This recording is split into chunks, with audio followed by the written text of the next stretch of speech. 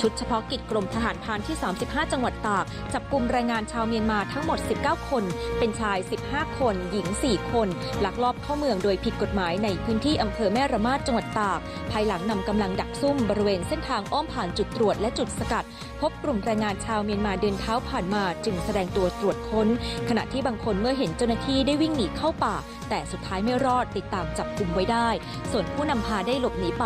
สอบถามแรงงานชาวเมียนมาบอกว่าจะไปทำงานที่กรุงเทพและชลบุรี เสียค่าในหน้าคนละ